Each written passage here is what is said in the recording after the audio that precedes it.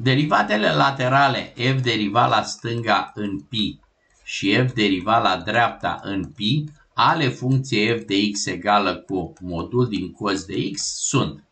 Păi ce se întâmplă? Cum eu am în jurul lui pi, atenție, hai să o explicităm. Deci, cosinus la pi este cât? Este minus 1. Da?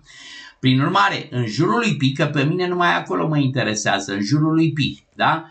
Pentru x aparține un interval de forma pi minus epsilon, pi plus epsilon, da? Repet că numai aici mă interesează în pi.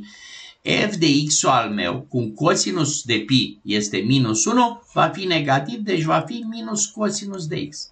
Și atunci iată că f derivat, fie că e la stânga, fie că este la dreapta în acest pi, face minus, uh, derivăm pe asta, pardon, f derivat va fi cos de x derivat e minus sinus și cu minusul este sinus de x, cât este uh, sinus în pi, deci egal cu sinus în pi, care e egal cu 0.